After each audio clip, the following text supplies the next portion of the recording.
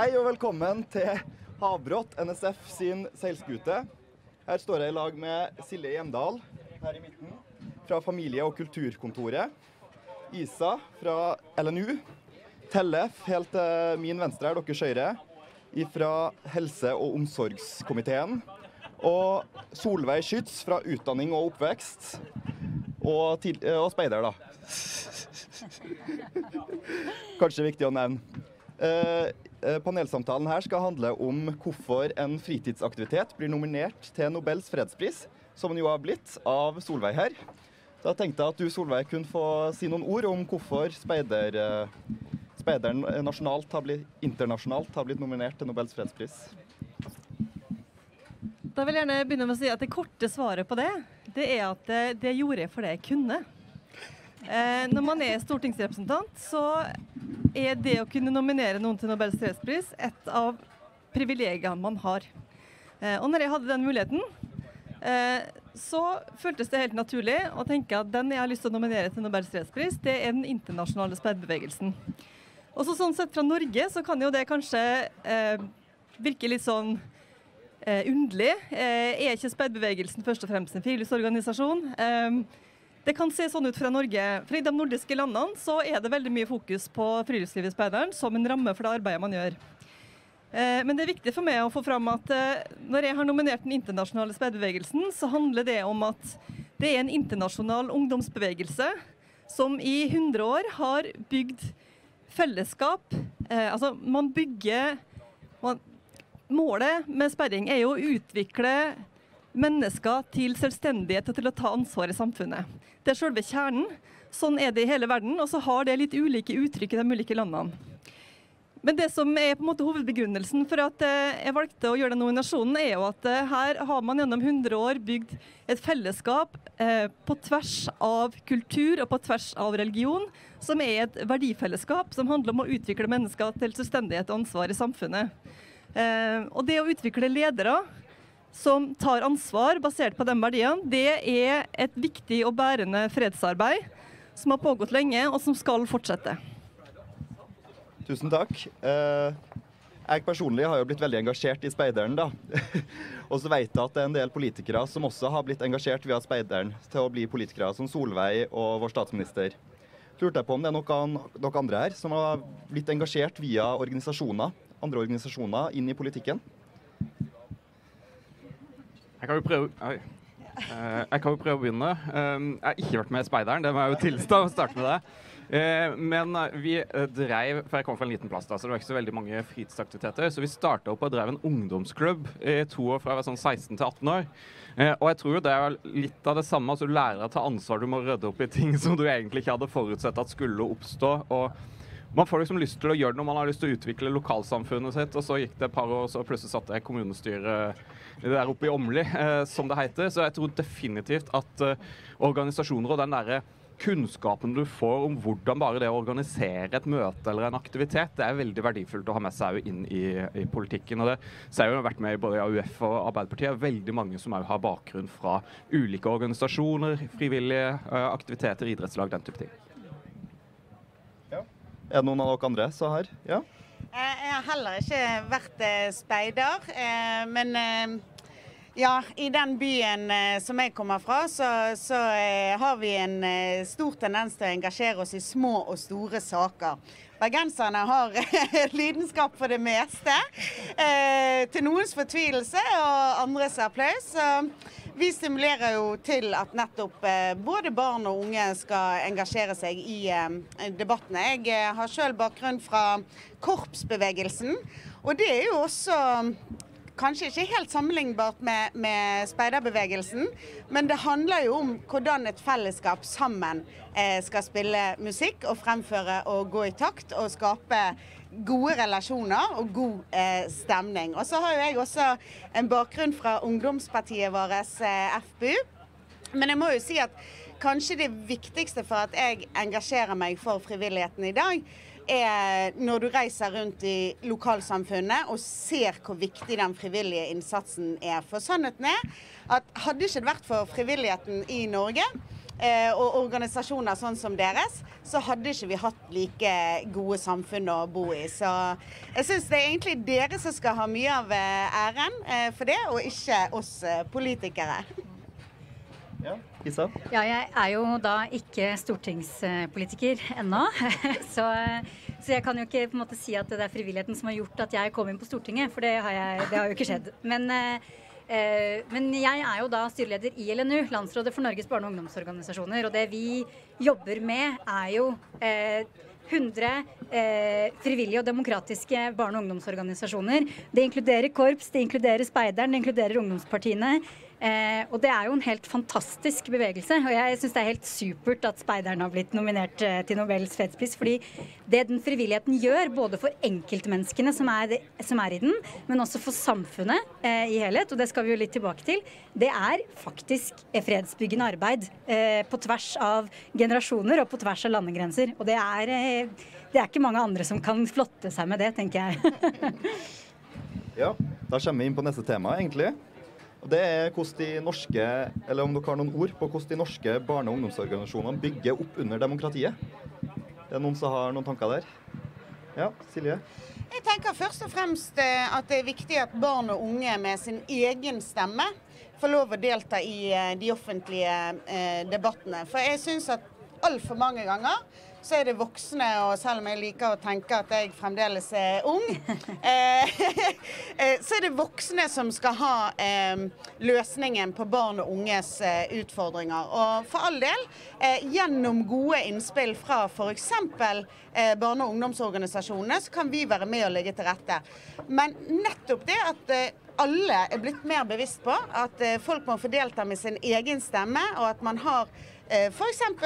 mer mer bruk av ungdomspanel i dag, ungdomsråd, eh, brukerstemmer. Det tror jeg er veldig viktig. For eh, selvfølgelig, eh, man kan stemme det året man fyller 18. Eh, men vi har veldig mange barn og unge eh, som har viktige ting å bidra med i samfunnet, og at vi lytter også eh, til disse stemmene, selv om de fysisk ikke kanskje kan ligge en stemme i urnen på valgdagen, så er det viktig at de også føler seg inkludert i eh, samfunnet. Og det har vi alle et ansvar for å ligge så godt til rette eh, for så vi kan. Solveig? Jeg tenker Noe av det aller viktigste er den rollen som den frivillige organisasjonene har i liksom å, bygge samfunn og bygge demokrati helt på, der, på det grunnleggende nivået.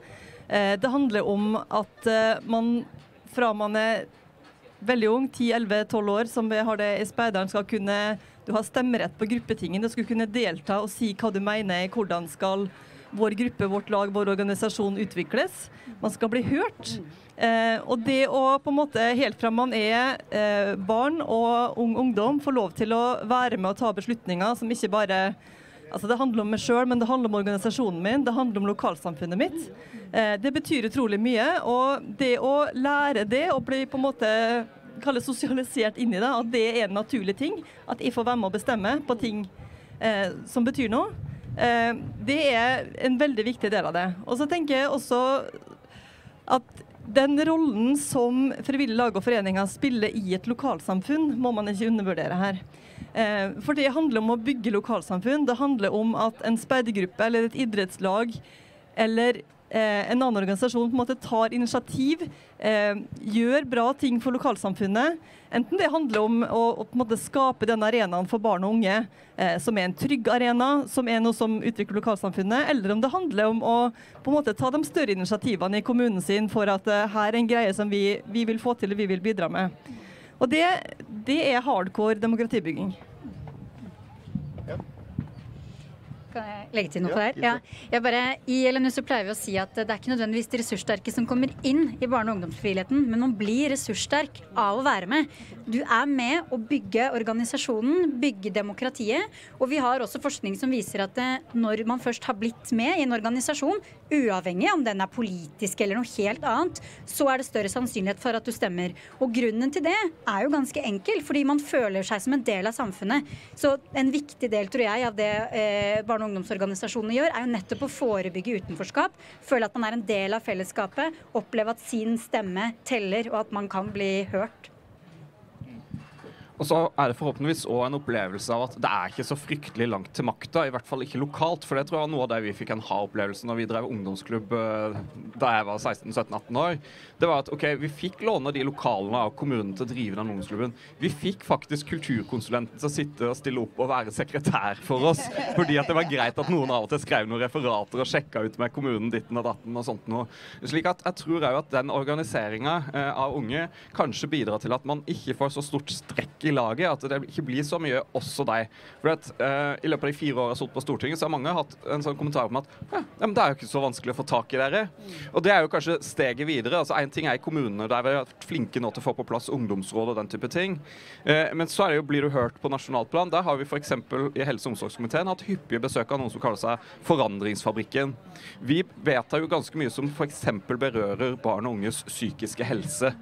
Der stiller de med altså, proffer som er ungdom sjøl, som forteller hva er deres opplevelser rundt psykisk helse, og hva er det de trenger. Og Det tror jeg er et utrolig viktig innspill, og som man kanskje må gjøre enda mer av. Det har dere sikkert noe av i kulturkomiteen. men det at man faktisk da i høringer på Stortinget òg hører barn og unge, er avgjørende, men da må man òg organisere seg.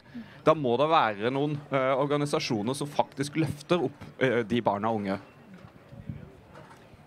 Jeg tror det er et veldig viktig poeng. Og så er det jo allikevel sånn at eh, frivillige organisasjoner blir ikke til for å sitte i høringer på Stortinget. ikke sant? Eh, frivillige gjør det de har lyst til å gjøre, eh, og driver en organisasjon med det formålet man har. Og det er kjempeviktig at det er det man har fokus på. Eh, og at frivilligheten er fri. Eh, samtidig så er det ikke noe tvil om, som du sier, at eh, hvis politikere som oss på en måte skal være sikre på at vi får de innspillene vi trenger å få, Ehm, så er det også viktig at eh, flere organisasjoner, og ikke minst altså LNU, som er veldig flinke til å si fra, men også at flere enkeltorganisasjoner sier høyt hva er det som er viktig for oss. Og det tenker jeg kan liksom um, si som en, en, utfordring til Norges Speiderforbund. Um, ikke bare len dere på LNU. LNU gjør en fantastisk jobb. Men tør å ta noen egne initiativ også, og si dette er viktig for oss. Um, for det, det trenger vi å høre. Silje? Ja, og så tenker jeg Det handler om å tørre å invitere oss politikere litt ut av komfortsonen. Så, du påpeker, selvfølgelig det kan være viktig å komme med innspill i Stortingets høringer.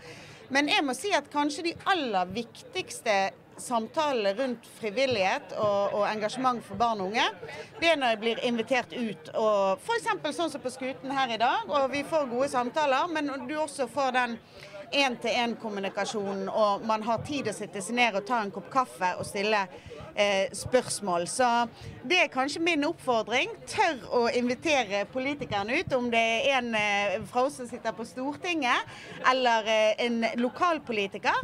Eh, utfordre politikerne litt, få de inn i deres miljø. Eh, vis de hva dere jobber med, og hva dere er opptatt av. Jeg tror eh, mange flere politikere kunne vært flinke flink der.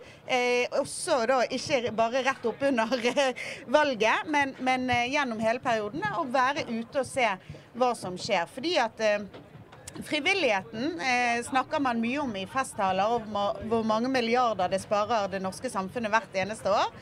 Men nettopp det å ikke ta det for gitt hvor mye det betyr i de små lokale samfunnene, eller om det er i de store byene, det er, det er noe vi eh, virkelig ikke skal eh, ta for gitt. Så Dere hadde et veldig godt eksempel på Karmøy før sommeren, der eh, speiderne inviterte meg rundt, rundt, bålet for litt snakk og oppdatering på hvordan de driver sine aktiviteter for barn og unge. Og det var gir en helt annen ramme rundt det enn at man skal sitte inne på Stortinget stivpyntet og følge med på klokken eh, på når det ringer inn i salen. Så det var et veldig flott initiativ. Jeg vil bare legge til eh, Det er veldig fint å høre det dere sier. Og så vil jeg også legge til at frivilligheten koster også litt penger.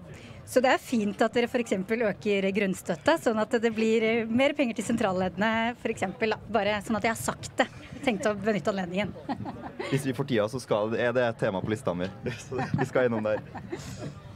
Eh, men jeg har et spørsmål til dere, da. Eh, altså, Speideren samler jo hvert fjerde år 40 000 ungdommer fra hele verden på en jorde og samarbeider og har det fantastisk. Hvorfor tror dere at det er sånn at ungdom klarer å samles på den måten og ha det helt fint? Men når voksne da skal diskutere rundt et bord, så blir det egoistisk, og det blir krig. Rett og slett for å si det rett ut. Jeg syns ikke alltid det blir krig. Det var, det var litt overdramatisk, det kan jeg være enig i. Når, når eh, voksne eh, samles, altså det kan være på en festival, større konsert, eh, større messer. Eh, men jeg syns det er veldig inspirerende, og kanskje flere voksne burde av og til se til eh, hvordan eh, barn og unge har litt eh, andre tilnærminger til hvordan man kan bli kjent, og hvordan man kan ha det eh, hyggelig. Men, men, sannheten er jo det at også på, på Stortinget, selv om man representerer ulike partier, eh, så kan jeg avsløre at f.eks.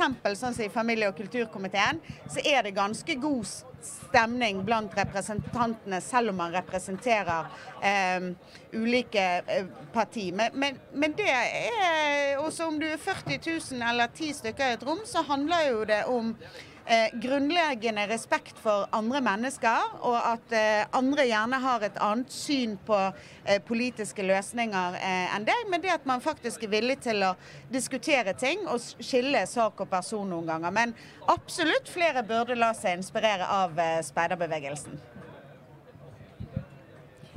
Jeg tenker Når, eh, når eh, speiderne fra hele verden møtes til verdenssamboré hvert fjerde år, eh, og 40 000 ungdommer med veldig ulik bakgrunn fra mange ulike land, ulik kultur, ulik religion, alt på en måte er en sånn smeltedigel over ganske lang tid, at det går bra, det er litt sånn, sånn bevis for meg på, på hvorfor dette er så viktig. Fordi det er en sånn demonstrasjon av at her samler man på tvers av det som skiller, fordi man har et, eh, et fellesskap eh, som er sterkere enn det som skiller. Eh, fordi det er viktigere hva man er enige om og hva man har felles, enn hva som skiller. Og der tenker jeg jo at alle voksne og alle politikere har veldig mye å lære. Ja, nei, jeg støtter det. og så er jeg veldig enig med Silje at uh, vi klarer oss overraskende bra. for å si sånn. Uh, som stortingspolitikere så er vi òg uh, ute og besøker andre politikere. Og vi har egentlig en ganske ålreit tone, heldigvis, stort sett. Men fordelen med barn og unge det er jo at de er ikke født med fordommer. De har ikke nødvendigvis tusenårig historie om hvem som har kriga med hvem i bagasjen sin. Slik at de er kanskje litt mer åpne til sinns i utgangspunktet på å møte andre folk. Og det er klart, hvis du allerede allerede fra du er liten av er vant til det, så har du òg kanskje som voksen, og hvis du da ender opp som politiker, en annen ballast som gjør til at man, man ser samarbeid framfor å se konflikt. og Det tror jeg er enormt uh, verdifullt, og der er jo dere en viktig bidragsyter i så måte. Ja, det, det, tror jeg er helt riktig. Og så eh, tenker jeg at um, det er jo gjennom å organisere seg at man former samfunnet. Og speideren er jo virkelig godt organisert fra liksom lokallag eh, på eh, nederste nivå til paraply internasjonalt eh, på øverste nivå. Og det å liksom ha den organisasjonen i, i ryggen få de verdiene som speiderbevegelsen representerer, eh, i ryggen når man møter hverandre, eh, det tror jeg jo er kjempeverdifullt også når man skal møte eh, mennesker på tvers av landegrenser. Da. Så jeg tenker jo Speideren er jo virkelig en eksempelorganisasjon å se til der. Ja, nå har vi snakka veldig mye om ja, om speideren og samarbeid, både internasjonalt og nasjonalt. Tenkte vi skulle gå litt nærmere på hva deres rolle i Stortinget og de ulike komiteene er, og hvordan det påvirker fritidsorganisasjonene rundt omkring i landet. Uh, ja, du Silje f.eks. Uh, hva du jobber med i komiteen du sitter i? Eh, jeg sitter i familie- og kulturkomiteen, og så må jeg få lov å si, for det er jeg veldig stolt av, så er jeg barnas stortingsrepresentanter for Fremskrittspartiet. Eh, og vi har jo ansvaret for frivillighetspolitikk. Eh, det tenker jeg er selvfølgelig veldig viktig for alle som, som står her i dag, og spesielt også da eh, for dere som er invitert til denne eh, debatten. Det handler også om eh, eh, debatten og, og, saker som vi har for barn og unge, om det gjelder aktivitetstilbud. altså F.eks. Eh, fritidskortet som vi har diskutert. Også det at, eh, at, barn og unge skal få muligheter til å delta på fritidsaktiviteter. Som dessverre for en del er blitt økonomisk utfordrende fordi at det koster mye penger, en del av disse aktivitetene. Eh, så det handler om å ligge til rette med, med, gode rammevilkår for frivilligheten først og fremst, tenker jeg. Men, men, det handler også om å ha en bevissthet rundt hvilken kultur-, idretts- og aktivitetspolitikk man ønsker for eh, barn og unge. Så det er jo mye av det som, eh, som vi konkret eh, jobber med på disse ansvarsfeltene i vår komité. Og så er det litt sånn noen ganger man, man hopper litt mellom komiteene på på hva som hører eh, inne hvor. Men eh, det er jo bakgrunnen for at vi bl.a. har veldig god kontakt med LNU. Nettopp fordi at vi har ansvaret for frivillighetspolitikken. Solveig, du sitter jo i utdanning- og oppvekstkomiteen. Utdannings- og forskningskomiteen, faktisk. Ja, og, eh, og, for å være helt ærlig, der jobber vi ganske lite med frivillighet. Der jobber vi med alt som handler om barnehage, skole, høyere utdanning og forskning. Ehm, sånn at akkurat frivillighetens rolle står eh, lite på vår agenda. Og det er familie- og kulturkomiteen som, eh, som har mesteparten av det. I Speideren da, så er det jo veldig mye sånn udokumentert uh, opplæring, og vi lærer veldig mye selv om vi ikke har det på papiret. Har dere noen meninger om det? Ja, Som Venstre så har vi mye meninger om det. Og det er klart at den, den uformelle eh, utdanninga, hvis vi kan kalle det det, eh, den har en enorm verdi. Eh, og der eh, opplever jeg jo at eh, det er en sånn slags eh, konstant diskusjon om hvordan skal vi sikre at vi får verdsatt den godt nok, ikke sant. Eh, um, Voksenopplæringsforbundet og på en måte de tilknyttede organisasjonene der spiller en veldig viktig rolle i å liksom lage rammeverk eh, for det. Samtidig så, så syns jeg det er viktig at vi ikke går i fella med å tenke at all eh, utdanning må være formell for at den skal ha verdi. Eh, jeg vet også I Speiderforbundet så hadde vi jo en periode eh, litt sånn diskusjon om eh, vil vi ha vekttall på, på lederkursene våre, og skal vi jobbe for det. Så valgte man å ikke gjøre det, og det er i hvert fall jeg personlig glad for. fordi det er lurt å skille mellom formell utdanning og, og ikke-formell utdanning, og, og den læringa som ligger i det. Og Samtidig så må vi som samfunn tenke være mye mer bevisst på hvilken kunnskap og hvilken læring og hvilken kompetanse er det mennesker har med seg eh, fra f.eks. frivillige organisasjoner, eh, som vi må lære oss å verdsette enda høyere. Tellef, du sitter jo i helse- og omsorgskomiteen. Ja. ja. Og er frivillighet eh, relevant for helse- og omsorgskomiteen? Svaret mitt på det er definitivt ja. Uh, vi har jobba en god del med folkehelse, med ensomhet, med psykisk helse. Uh, og det er ingen tvil om at det å kunne engasjere seg i en organisasjon er veldig god både folkehelse, psykisk helse, forebygger ensomhet, er med på å bygge både nettverk og vennskap. Så i så måte så mener jeg at dere har en veldig positiv helsemessig effekt sammen med alle andre lag og organisasjoner. Og så er det jo sånn at vi har òg en del organisasjoner på vårt felt som jobber eh, særlig opp mot kanskje da psykisk helse, altså f.eks. Mental Helse Ungdom, eh, som setter eh, fingeren på et av de største uh, kalle det problem da, uh, som, som, vi har. Altså Barn og unge som sliter med den psykiske helsa. Nå ser vi jo en eksplosjon i f.eks. spiseforstyrrelser med barn og unge. Og det at vi har et organisasjonsliv på det feltet som fanger opp barn og unge sin stemme, tenker jeg er enormt viktig i den, i, i den sammenheng. så Absolutt. Det er mye uh, helse òg i uh, frivilligheten. Og så uh, bare legge til sånn på slutten, og jeg dette er ingen kritikk, for jeg syns det er kult å stå på ei skute. Men vi har vært litt, i hvert fall i mitt parti, opptatt av det her med universell utforming, og at alle skal kunne ha en tilgang til en fritidsaktivitet òg. Det å faktisk sørge for at mennesker med en funksjonsnedsettelse òg blir inkludert i det frivillige arbeidet, har tilgang til ulike eh, steder der det foregår frivillige aktiviteter, tenker jeg er kjempeviktig. For det er en gruppe som vi ofte ser at både sliter med å komme inn i arbeidsmarkedet, men bli inkludert, og ofte sliter med mer eh, ensomhet og dårligere psykisk helse på den delen. Ja. Eh, deres ulike komiteer representerer jo da til sammen vil jeg si, ganske bra frivilligheten. Det er jo delvis derfor dere ble spurt da, om å komme hit. Eh, men er det noe som dere som privatpersoner brenner for, knytta opp mot fritidsaktiviteter, frivillige organisasjoner? Deg og Isa. Jeg kan jo kanskje starte med å svare. Ja, eh, ja, som privatperson så brenner jeg veldig for frivillighet. Eh, men jeg, bare for å kommentere litt det som dere sa i stad, så syns jeg, jeg synes det er kjempeinteressant eh, det vi snakker om universell utforming. fordi et av spørsmålene som jeg ble bedt om å forberede i dag, var hva er det som hindrer barn og unge fra å engasjere seg i frivilligheten? Og det eh, er jo barrierer som vi kanskje ikke vet at fins i organisasjonene våre, men som vi er nødt til å utforske litt. Er det bare eh, barrierer knytta til tilgjengelighet?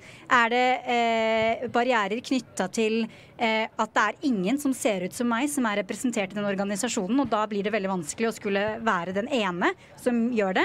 Eller er det barriere bare til opplevelsen av relevans? Altså sånn, det er mange som sier 'engasjer deg', og så er det ingen eh, i eh, organisasjoner der du bor hvor man egentlig får lyst til å eh, engasjere seg eller organisere seg, fordi at eh, man har ikke lyst til å drive med fotball, og man har ikke lyst til å melde seg inn i 4H, og så er det det som finnes der. Så det å eh, jobbe for et mangfold av frivillige organisasjoner eh, flere steder i Norge, det tror jeg er kjempeviktig for å få barn og unge engasjert. Eh, så eh, jeg, jeg, tok en liten snarvei inn i det spørsmålet på om det, det engasjerte meg på fritida. Ja, det, det gjør det, da. Ja. ja. Jeg tror eh, akkurat det som, som, hun er inne på her med mangfold, det er også bakgrunnen for hvorfor eh, frivilligheten og dugnadsinnsatsen i Norge eh, er så sterk som den er. Nettopp fordi at vi har en bredde i de tilbudene som er. Og jeg har vært veldig opptatt av det også som eh, kulturpolitiker. Det er ikke alle barn og unge som liker å løpe etter en ball. Noen liker å spille teater, noen liker å være i Speideren, andre eh, har lyst til å holde på med gymnastikk. Og så nettopp det at eh, man skal kunne legge til rette for at folk er forskjellige. Eh, det må vi også ta, ta, inn over oss når det gjelder barn og unge. Eh, vi voksne forventer å, å, bli behandlet som individer, og at vi alle er unike og ulike. Det gjelder selvsagt også barn og unge. Så det å legge til rette for at, at, frivilligheten er mest mulig nettopp fri, og, og, og, og da spesielt ifra eh, pålegg fra politikere med detaljreguleringer og byråkratiske eh, skjemavelder og styringer, eh, det er veldig viktig. For det er faktisk ungdommene eh, selv eh, som er ressursen her. Og da må vi heie på alle gode initiativ, de små som eh, de store. Men det vil jeg si kanskje er en utfordring noen ganger at det blir de store, etablerte eh, organisasjonene eller idrettene eller kulturtilbudene eh, som gang på gang kommer sterkt ut av det. Eh, og det syns jeg vi som politikere skal være litt obs på. Eh, fordi at eh, det, det, kan ikke være sånn at det er de organisasjonene som har råd til å ansette mange sekretærer som skriver fancy søknader, som får mest penger og mest støtte og mest oppmerksomhet. Eh, det syns jeg faktisk er et lite demokratisk eh, problem. Veldig viktig poeng fra, fra Silje der. og Det tenker jeg det understreker også på en måte viktigheten av LNU eh, og Frivillighet Norge. At, at frivilligheten på en måte har et samarbeidsorgan eh, som gjør at man, man, kan stå sammen om en, om en del ting. Eh, og på en måte virkelig stå sammen om, om det man har felles. Eh, for det er åpenbart en fare at eh, de største organisasjonene med veldig mange ansatte eh, både får mye oppmerksomhet, men også også får mer penger fordi de er stor fra før. Um, og det, det, er, det, er et, det, er, et, problem som vi måte ikke må være blinde for som politikere. Men det jeg tenkte å si var, altså Noe av det som jeg syns er aller, aller viktigst her, da, det er nettopp det der med hvordan frivilligheten Eh, utvikle mennesker. Eh, det er det som er på en måte byggesteinen i at vi også utvikler demokrati, eh, og at sånn som speiderbevegelsen er en fredsskapende bevegelse i det store bildet. Det handler om utvikling av mennesker. Jeg hadde aldri vært stortingsrepresentant hvis jeg ikke var speider. Helt garantert. Jeg var ikke noen ungdomspolitiker, men jeg har alltid vært samfunnsengasjert. Og det har jeg lært til speideren. Og så tenker jeg at Organisasjoner som f.eks. Speideren må tenke litt stort om hvilket bidrag dere gjør i samfunnet. Det må flere organisasjoner gjøre. Ikke tenk at vi er bare Speiderforbundet, eller, eller, vi er bare 4H. Eller, altså, tenk litt stort om det dere bidrar med. Um, altså for eksempel, uh, speiderloven så sier man at uh, en speider kjenner naturen og verner om den. Det er, sånn der, det er helt nærmest hjertet mitt. Uh, og det handler om at det er en sammenheng mellom å kjenne naturen og ta vare på den. Eh, ikke tenk at det å lære barn og unge friluftsliv er noe lite. Det er en forutsetning for at nye generasjoner skal ta vare på naturen i framtida. Og det er kanskje det aller viktigste bidraget denne organisasjonen gir for framtida. Og det må man tenke stort om. Nå er det jo sagt veldig mye, mye, klokt, men hvis jeg skal legge til noe, så tenker jeg at uh, de frivillige organisasjonene nå veldig ofte er veien inn til å bygge vennskap. Eh, fordi at Hvis du engasjerer deg i en frivillig organisasjon, så er det jo ofte fordi at du har en interesse på det feltet, og det øker jo sjansen for at du faktisk treffer noen som du har noe til felles med, eller utvikler noe til felles med, som du bygger en felles historie med. Eh, og det tror jeg er noe vi ikke skal undervurdere i dagens samfunn. Altså, for meg, Da jeg kom inn i AUF, så traff jeg plutselig en masse folk som var politisk engasjert. For å være helt ærlig, jeg kommer fra en bitte liten kommune der det var få ungdommer som var veldig politisk engasjert.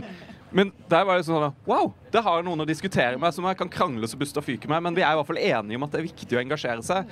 Den type engasjement. Og så tenker jeg jo at det er viktig at vi gjør terskelen så lav som mulig for å bli med i frivillige organisasjoner. Til og med det der å starte opp en organisasjon må være lett. Og det er ofte òg veldig givende. Enten det handler om ungdomsklubben som vi var med å starte opp, eller revy- og teaterlaget som eh, de starta opp der, der, jeg var hjemme. Altså, det at kommunen legger til rette for f.eks. gratis tilgang til uh, lokaler.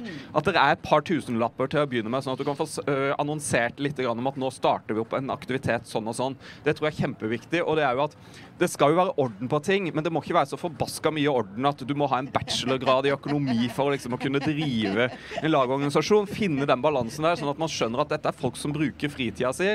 Det, det, skal selvfølgelig ikke være noen som stikker av med penger fra kassa eller den typen ting, men vi må òg ikke lage et så rigid system som samfunn at det er umulig å kunne få noe drahjelp med mindre du har søknader som ser 110% perfect ut. Ja. Eh, jeg vet ikke om dere har hørt det, men Speideren har jo som slagord 'verdens største vennegjeng'. Så det, du traff spikeren der, syns jeg. uh, ja. Uh, hva mener dere at politikken kan gjøre altså Du har jo vært innpå det, da, TLF, men hva politikken kan gjøre mer for fritidsaktiviteter for barn og unge? Det var jo akkurat det du var inne på. Men, eh, ja. Jeg kan jo legge til, Nå har vi fått beskjed om ikke å være veldig partipolitiske, men vi ser jo f.eks. det som handler om momskompensasjon, eh, som har vært et langvarig ønske fra organisasjonene. En full momskompensasjon for frivillige lag og organisasjoner gjør terskelen lavere, prisen lavere for å delta eh, i den type aktiviteter. Det mener vi at et sånt type politisk grep som vi eh, definitivt eh, kan ta for å, for å bidra mer til å legge til rette for bl.a. dere. Helt enig i akkurat det. Og så tenker jeg generelt at uh, vi må bli flinkere til å sørge for at uh, det er lett å være frivillig. Både sånn som enkeltperson, men også som organisasjon. Uh, det er fortsatt mer vi kan gjøre for at det skal være mindre rapportering og papirarbeid for organisasjoner. Og da tenker jeg at, som du var inne på i sted, Silje, altså hvis vi rigger systemet sånn at det er de store organisasjonene med mange ansatte som på en måte mestrer systemet, og de mange små ikke på en måte får utnytta mulighetene som er, da, så, så er det innmari dumt.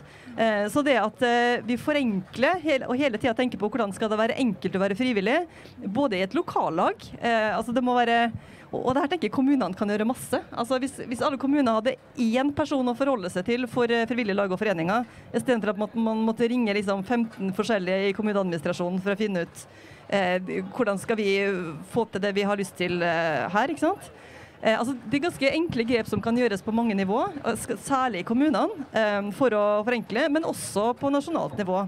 Altså, vi, kan, vi kan forenkle rapportering og krav, eh, og vi må sørge for også dette med at vi som politikere ikke fristes til å bli altfor målretta i frivillighetspolitikken. For hvis det, hvis det, blir sånn at uh, man tenker at frivilligheten er et slags instrument for at man skal oppnå et eller annet politisk mål, da har vi feila. Um, da, og det gjelder både på Stortinget og i, i kommunestyret. Altså, eh, frivilligheten må være fri eh, og må få gjøre det den vil gjøre. Og så må vi ha tillit til at den jobben som gjøres når frivillige lag og foreninger driver med kjernevirksomheten sin, det er bra, og det skal vi støtte opp om uten å be om en nitidig rapport etterpå på hvordan kronene ble brukt. Ja, jeg syns egentlig mye godt eh, ble sagt, men jeg, jeg, jeg, føler jeg må komme inn på det siden jeg, jeg hadde et møte med de eh, i går. Eh, eh, Frivillighetssentralene eh, tenker jeg også er en viktig eh, nøkkel i dette. Og, og som, som det blir sagt her, så er jo dette noe alle politikere er nødt til å ta inn over seg. Også om du er lokalpolitiker, fylkespolitiker eller stortingspolitiker. Men det at man jobber godt i kommunene med frivillighetssentraler, altså enten om man er kommunal eller om man er ideell, eh, og det at man, man har et en god samkjøring sammen med de, slik at folk faktisk også vet hvilke tilbud som er der ute.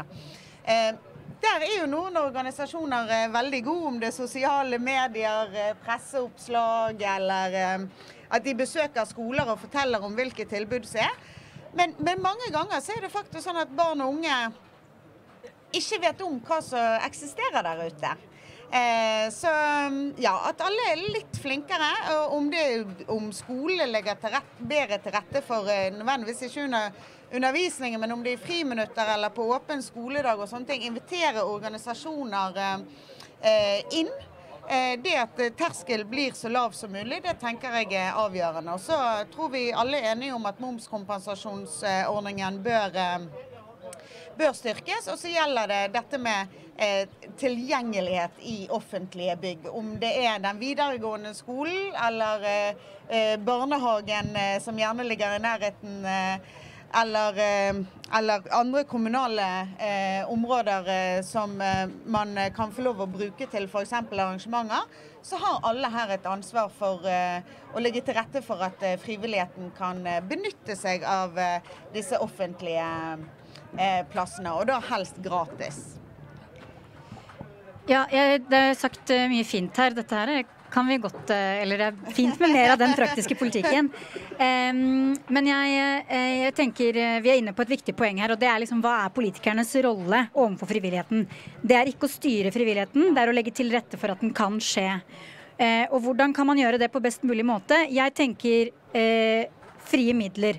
At det, er, eh, at, det er, mulig for organisasjonene å få eh, noen midler fra statlig eller kommunalt hold som gjør at man kan drive aktiviteten sin eh, uten at man må rapportere masse. Og det som ofte er, er at eh, man får prosjektmidler som er veldig knytta til et prosjekt, og det kan være veldig fint. Det kan være insentiver til å drive mer bærekraftig arbeid, f.eks. Det er helt strålende, det. Men det frivilligheten først og fremst trenger, er å få lov til å bestemme selv hva de skal bruke eh, pengene sine på. Eh, og så har jeg lyst, lyst, til å snakke om eh, noe som vi overraskende nok ikke har snakket om hele samtalen, og det er jo dessverre den pandemien som vi er i nå. Det har gått veldig hardt utover frivillig sektor. Eh, de medlemsundersøkelsene som LNU har gjort, har vist at vi har mistet anslagsvis 50 50 000 eh, medlemmer i frivillige organisasjoner. Og for å sette det i perspektiv, så har det vært da en vekst på 10 000 medlemmer i året siden 2011. Så det er ganske store og brutale tall. Og da tenker jeg at eh, noe av det som kommer til å bli viktig fremover, er at politikerne eh, prioriterer å legge til rette for at det kan være frivillig aktivitet både i kommunene og, eh, og nasjonalt. Og hjelpe litt ekstra eh, til. Og så skal vi være flinke til å skjønne at dette her, dette her, er hjelp. på en måte. Det er ikke sånn det nødvendigvis må være bestandig. Men vi trenger litt drahjelp nå. Det er mange lokallag og mange organisasjoner som sliter med å komme seg opp igjen etter dette ett og et halvt året. Og vi også, når vi snakker om barne- og ungdomsfrivilligheten, så er det nok mange som er rammet enda hardere enn frivilligheten for øvrig. Fordi det å overføre den kunnskapen fra generasjon til generasjon, det krever det ene året, det. Og for de som eh, bare er med i den organisasjonen en kort stund, fordi det hører jo med i sakens natur. Man slutter å være ungdom på et eller annet tidspunkt. Da har man ikke fått den kunnskapen lenger. Og vi vet ikke hvor, eh, hvor lenge vi kommer til å kjenne på pandemien i barne- og ungdomsfrivilligheten, men vi vet at dette her, det vet vi ikke konsekvensen av ennå. Og det, det er det nok mange som skremmes av. Tellef? Ja, og jeg øh, tenker at det er noe man skal følge veldig nøye med på. Forhåpentligvis så vil de jo nå strømme tilbake igjen når man ser at øh, det åpner opp igjen. Og kanskje er det jo sånn at dere trengs mer enn noen gang.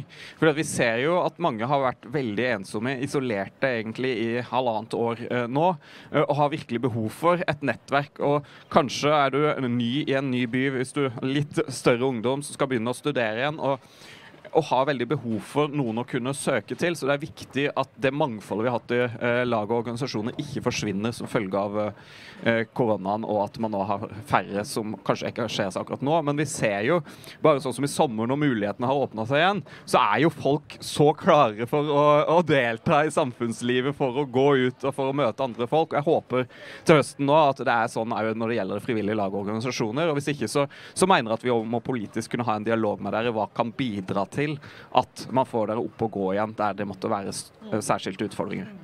Solveig? Jeg tenker at det er kjempeviktig, og jeg tenker at vi som politikere må erkjenne at nå trengs det et særskilt løft. for kultur, idrett og frivillighet, og barne- og ungdomsfrivilligheten særlig, fordi at den er ekstra sårbar. Eh, sånn at eh, Jeg håper jo at LNU og, mm, og organisasjonene nå altså vær tydelige overfor oss på hva er viktigst for at vi nå liksom skal få snudd den trenden til en positiv trend. Og det, som du sier, det er mange organisasjoner som nå opplever stort, eh, stor nedgang i, medlemsmassen, og mister, noen har mista hele årskull. Eh, og det er jo rett og slett helt krise. Eh, altså Det er krise for et idrettslag hvis du mister et halvt årskull, for da, har du da kan du ikke stille lag i serien. da. Det er krise for en speidergruppe å miste et årskull, for da går det to år, og så har du ingen patruljeførere. ikke sant? Så vær, vær tydelige for oss på hva, hva trengs nå for at man skal få til det løftet, for at man skal få inn igjen dem som dem vi har mista, for at vi skal greie å rekruttere nye barn og ungdom inn, som gjør at vi får fart. Og jeg håper jo at eh, dette også har lært oss verdien av eh, frivillig barne- og ungdomsarbeid. Eh, at vi kanskje enda større grad ser eh, hva er det vi kan miste hvis det blir borte. ikke sant? Og at det, at det kan gjøre at vi nå får på en måte en boost på og vekst eh, mange steder. For det, det trengs altså. Ja, jeg tror folk gleder seg eh, til eh, å komme ut igjen, og at en del kommer å, å skje av seg selv. Men jeg har jo hatt eh, krisemøter både med idretten, som er veldig bekymret eh, for de høye frafallstallene som de har hatt. Eh, frivilligheten. Men så må jeg si at jeg har reist litt rundt eh, nå i sommer eh, for å se hva frivilligheten gjør der ute eh, av, av aktivitetstilbud for barn og unge. Og, og det selvfølgelig vi politikere kunne slå oss litt på brystet fordi at vi fikk en ekstra satsing på aktiviteter i, i sommermånedene for barn og unge, og vi kom med noen ekstra penger. Men sannheten er at disse tilbudene der ute til de det gjaldt, hadde aldri kommet på banen hvis ikke det var for frivilligheten. For Jeg skal ikke snakke eh, ned kommunene, for det skjer mye godt i kommunene òg. Men de hadde aldri klart å hive seg så fort rundt som deler av frivilligheten eh, gjorde. Så, så eh, jeg tror mange barn og unge eh, denne sommeren, fordi at eh, man har måttet være hjemme og delta på aktiviteter her, har fått nye venner, blir kjent med nye organisasjoner som forhåpentligvis gjør eh, noe med en som gjør at, at, man har lyst til å fortsette å, å, holde på, på, engasjementet. Så eh, takket være frivilligheten så var det mange barn og unge i sommer som fikk et tilbud man ellers ikke ville ha. Og det håper jeg kan være med å rekruttere nye medlemmer for dere. Har du lyst til å kommentere det her, eller? Nei, jeg bare håper at, det, at de sier det samme etter valget. Det, det er mitt ønske. Ja. Speideren Speiderne er jo en av de få organisasjonene som faktisk ikke har hatt så mye tap av medlemmer i korona. Og eh, I Sverige så har de jo faktisk hatt vekst i eh, deltakere i, i Speideren. da. Så Vi må se på andre organisasjoner og tenke på hva, hva de gjør rett, og som vi bør ta inn over oss. da. Kanskje dere burde hatt et kurs for de andre, da? Ja? Lære litt av dere. ja. Det har vært, tusen takk for at dere møtte opp. Det har vært helt fantastisk å ha dere her. Vi har funnet ut av veldig mye gode ting, syns jeg. Og det er veldig fint. Ja, noen som har noen avsluttende ord? Tusen takk for at dere lagde seg dette arrangementet eh, og satt fokus på barne- og ungdomsfrivilligheten. Ja. Sier bra, sier bra, sier god, sier bra, god, sier bravo! Takk for oss her.